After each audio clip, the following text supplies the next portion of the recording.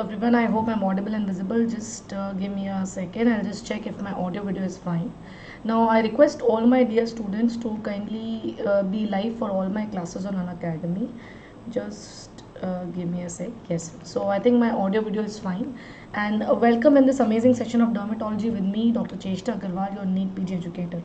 Now just a brief introduction. I'm dr Chesta Aggarwal who teach uh, dermatology on the best online platform that is Unacademy. I have myself scored all india rank 261 and I will be helping you out with the same so that you can get a good rank in your exam as well. Now currently we are providing some subscription offers. So I want all my students to kindly have a look on all these offers. Yes, so uh, on Unacademy we are right now providing 20% discount on any of the Unacademy subscriptions and I'm very sorry this date is a little behind but you'll have till 22nd of till 22nd of July this offer is valid I request all my dear students to kindly use my referral code CHESTA10 and get your subscription.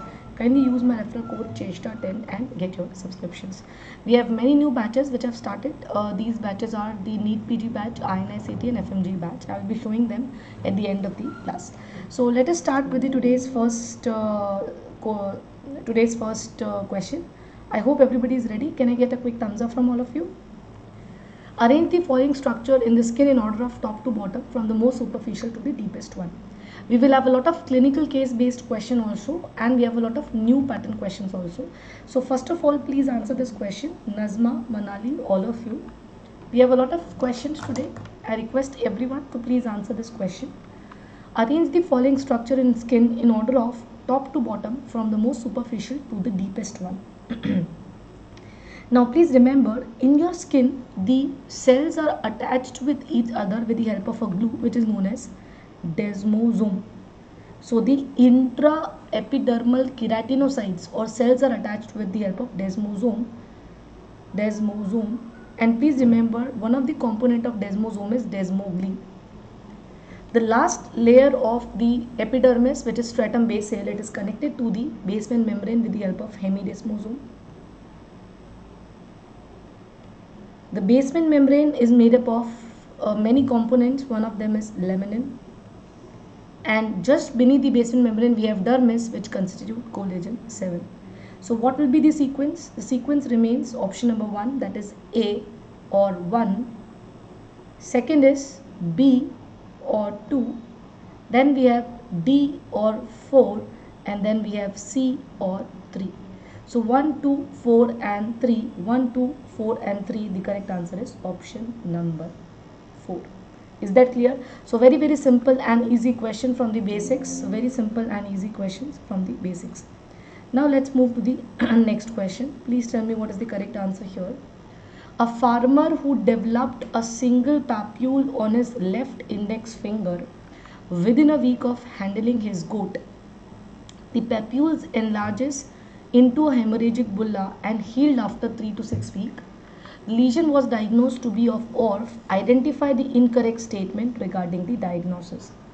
Bonzit, Ashima, Sovik, Manali, Nazma, very well done all of you. Farmer developed a single papule on his left index finger. What is the answer? Anyone? So the question clearly mentioned that the diagnosis was of the ORF infection, okay?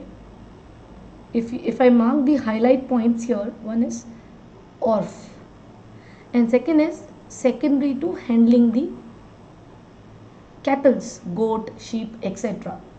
Now, whenever a patient develops a lesion at the site of inoculation, it is nothing but a very classical ORF infection which is known as Ecthyma contagiosum. Ecthyma contagiosum, it is a parapox infection, not the Coxsackie, parapox viral infection we do not need any antiviral because we have to treat the patient symptomatically. And for all the viruses whenever you do a histopath you will see ballooning degeneration or intracellular edema. So the cells becomes very large. The nucleus is pushed towards one end which is known as ballooning degeneration. Clear?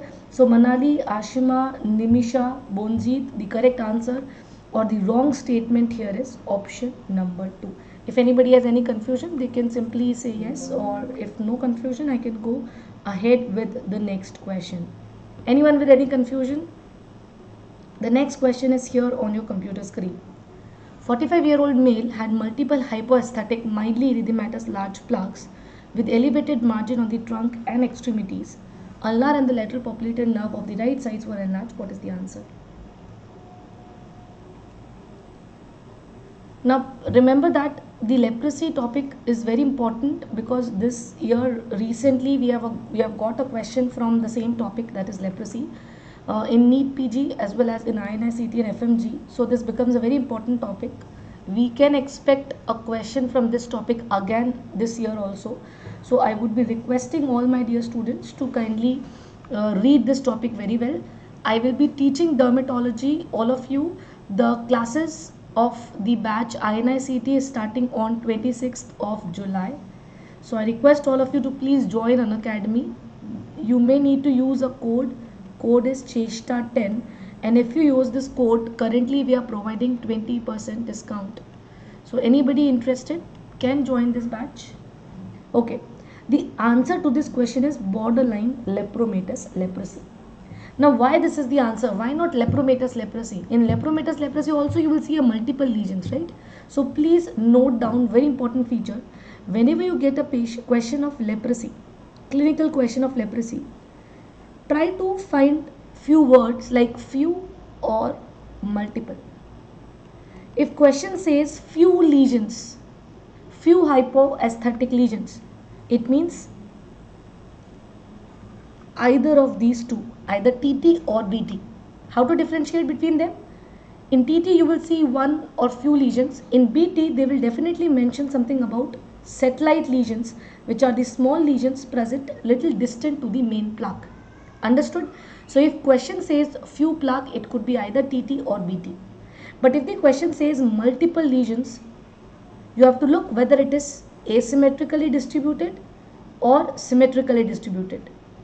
Asymmetrically means question says that if a patient has multiple lesions on left forearm, left leg, on one side of the body, it means we are dealing with a patient of BB, borderline, borderline.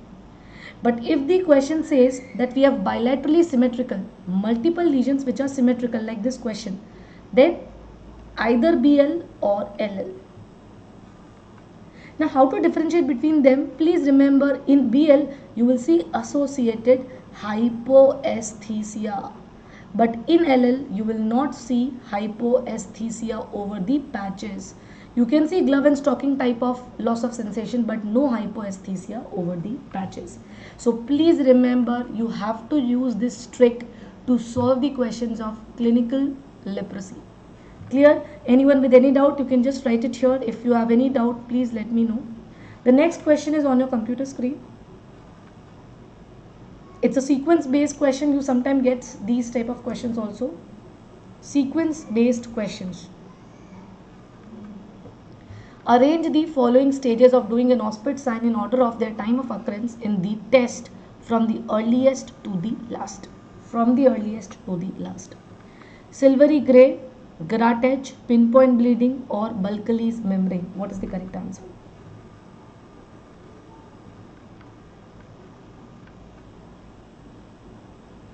Anyone? Arrange the following stages of doing an Auspitz sign in order of their time of occurrence in the test from earliest to the last. Now please remember what is the sequence of doing an Auspitz sign. So let us use red color. First of all there should be a scaly plaque that is a prerequisite.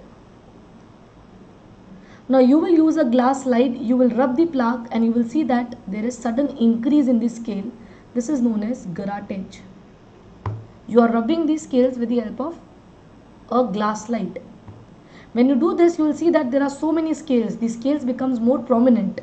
And when you remove these scales you will see a very shiny membrane which is known as Bulkeley's membrane. And please remember in the end when you remove the Bulkeley's membrane you see pinpoint bleeding areas. So what will be the sequence? A B D and C a, B, D and C. Very nice. Bonjeet, Neelu, Ashima, Abhi, Manali. Very well done all my dear students. The next question is on your computer screen. It is an assertion and reason type of question. Dermal melanin is seen in lichen planus. The reason is wedge shape hypergranulosis is seen in lichen planus? Anyone?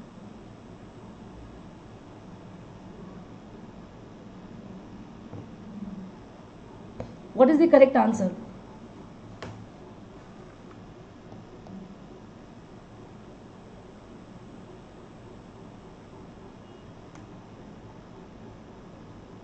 What is the correct answer here, anyone? Very nice. Now, look at the assertion and reason. Assertion says that dermal melanin is seen in lichen planus. Is it true or false? First tell me what happens when you see dermal melanin. Remember that whenever the melanin is present in dermis, the color becomes violet or purple. Clinically, the lesion becomes violet or purple and we are sure that in lichen planus we have violet or purple color. So this is a true statement.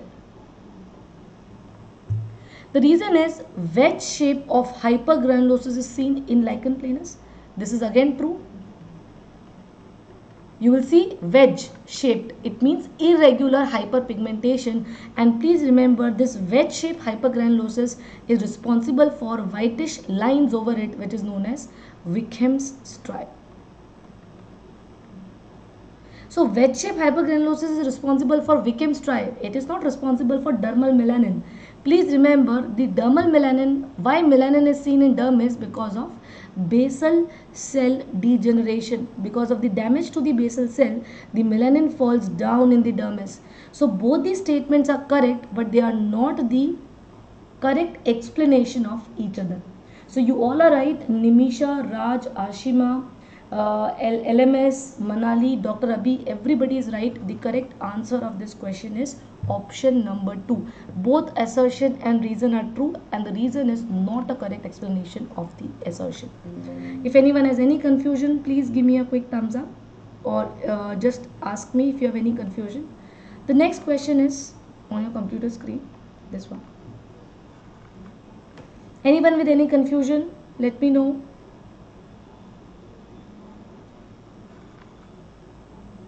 Now, a patient with erythematous scaly lesions on the extensor aspect of the elbow knee, which of the following statement regarding the pathophysiology of this disorder is incorrect? Which of the following statement regarding the pathophysiology of this disorder is incorrect? Abhi, Pooja, Ashima, Raj. Anyone? Patient with erythematous scaly lesions on the extensor aspect of elbow knee which of the following statement is incorrect?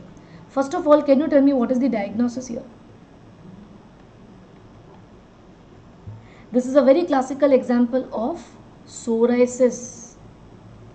Erythematous plaque with silvery white or micaceous scales on the extensor aspect, very classical of psoriasis. Now, what is incorrect about the pathophysiology?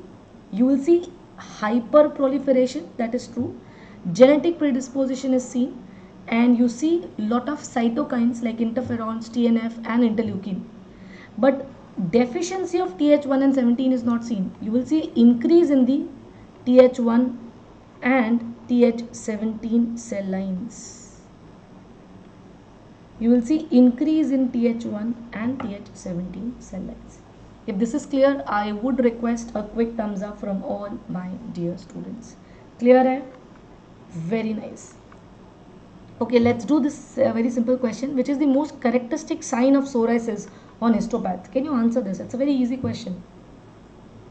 What is the most characteristic sign of psoriasis in histopath?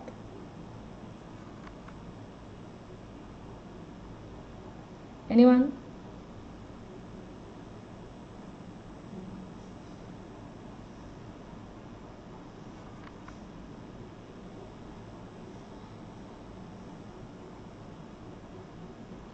Very nice. The correct answer is please remember presence of nucleus sorry presence of neutrophils in the epidermis which is known as micro Munro abscess.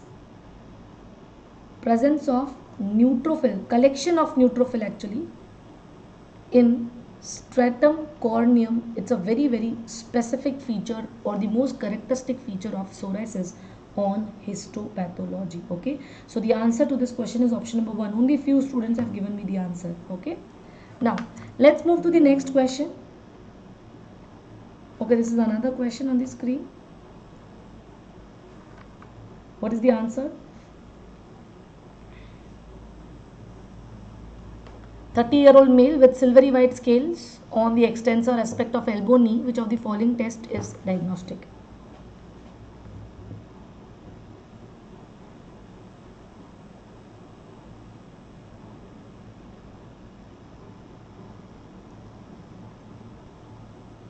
anyone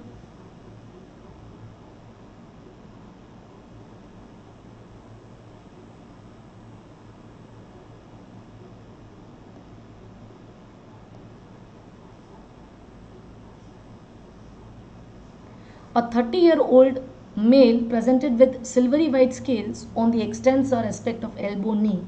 Which of the following clinical test aid in the diagnosis? Which of the following clinical test aid in the diagnosis? Again, the question is from the same topic that is psoriasis. And please remember, we have just now discussed that there's a very easy, simple bedside investigation to prove the diagnosis, and that is Grattage test, which is another name for Auspitz sign or Auspitz test. Okay, so the name of the test is Grattage test and that sign is known as mm. Auspitz sign. Anyone with any confusion? Anyone with any confusion? Now, the next question is on your screen. We have a 8 day old child with no history of consanguinity in the parent. Mother reports blisters, peeling of the skin at the site of handling, pressure, similar history in the previous child which proved to be fatal. What is the diagnosis? So I'm briefing it again. Please remember from 26th of uh, July we are starting with dermatology course. It is a plus class. The dermatology course is getting started. This course is specially for INI CT students. Uh, the course is starting on 26th of July on Unacademy Learning app. For enrollment, you need to use a code and the code is CHESTA10. If you use this code, you will get 20% discount. 20% discount on Unacademy. This offer is only valid till tomorrow, that is 22nd of this month. So requesting all of you to kindly go ahead and avail this description. Now the answer here is option number 3. It's a very classical description of mechanobullous disorders. Why do I say that it is mechanobullous? Because the peeling occurs on slight pressure or slight trauma to the skin in a newborn. Very very classical of congenital epidermolysis bullosa. Now look at this image. Can you see the middle image? Can you see this middle image? You can see that he's a newborn and in this newborn you can see a lot of peeling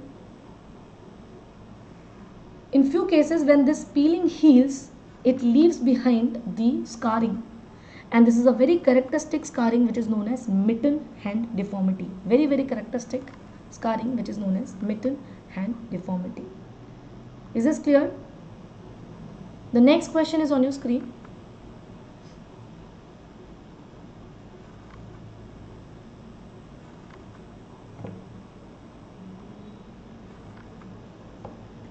Patient develops bulla without erythema on elbow, knee, sacral area, followed by crust formation, scarring and milia. He had no photosensitivity, negative family history, and DIF shows IgG depositions at DE junction with no blood vessel involvement is seen. What is the probable diagnosis here? Seema, Nimisha, Abhi, Manali, Neelu, Raj, anyone? Now again, if you look at the question, it says the lesions are on the extensor, trauma prone area. So it is a mechanobullous disorder. Now please remember mechanobullous disorders are mainly congenital where you have congenital gene defect and because of which some of the proteins which forms the epidermis or dermis or basal membrane is deficient but there is a very rare variety which is acquired and it is called as EB acquisita.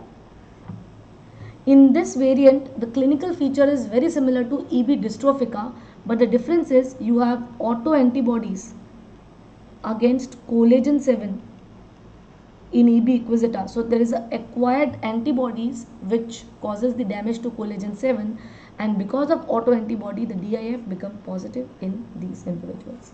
Clear? So the correct answer is option number 2. Everybody was marking option number 4. Why option number 4? In bullous pemphigoid there is no scarring. So why are you marking bullous pemphigoid? The question clearly mentioned that there is scarring. Okay. So please please do not get confused. It's a very easy question. I hope this is clear to all of you. Next, we got a very similar question this year in NEET PG 2022. We got a very similar question in NEET PG 2022. Anybody remembers that question? The question was a female presented with diffuse hair loss. She suffered from COVID infection. I think the duration was 6 months in the question. Okay. So very similar question was given in NEET PG 2022. Anyone can tell me the answer?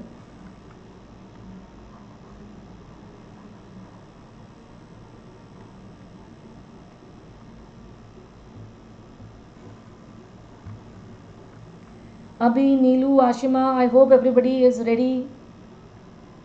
Uh, this question I have understood. This is the answer of this question is telogen effluvium. Please remember whenever there is a acute illness like typhoid uh, malaria or if there is coronavirus infection post pregnancy what happens there is sudden cessation of anagen phase so instead of completing 2 to 5 years in the anagen phase the hairs are quickly shifted or the hair cycle is quickly shifted to the subsequent catagen and telogen and that is why hairs will fall very fast or a large proportion of the hair enters the telogen and because of which there is a fall of the hair after 3 months. So please remember this is telogen effluvium. While in anagen effluvium you will see secondary to cancer chemotherapy. We all know that cancer chemotherapy they, they work on rapidly dividing cells and in the hair the rapidly dividing cells are present in the anagen phase. So I think both these questions are clear to you. Now there is a very interesting question I want all my students to solve this one.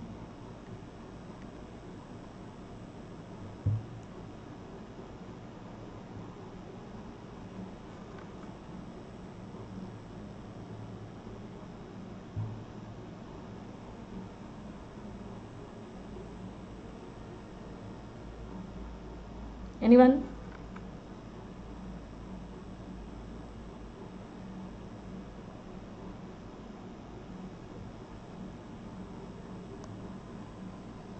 I'm waiting for the answer.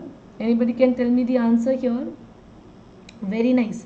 Now please look at this question. The question is a sequence based question where you have to arrange the pre-malignant condition in order of their risk of malignant transformation from the most potent or most malignant potential to least malignant potential.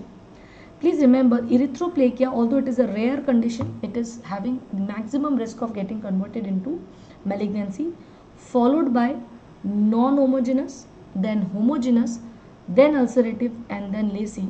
So the sequence become 1 or A then 3 then 2, then 4. So 1, 3, 2, 4 that is option number 1. So anybody have answered this question? Very nice. Tabassum, I think you are right. And uh, Pavitra, you are also right. The correct answer is option number 1 because erythroplakia. So let us write erythroplakia followed by non-homogeneous and then homogeneous leukoplakia and in the last it is the ulcerative ulcerative or erosive erosive oral lichen planus. Ulcerative or erosive oral lichen planus. Clear? So okay the question says from most to least okay? So please don't read it incorrect. It is from most to least. And that is why option number 1 becomes the correct answer. From most to least. I hope this is clear to everyone. Can I get a quick thumbs up from all of you? Anybody with any confusion? Now, the next question is here. Tell me the correct answer.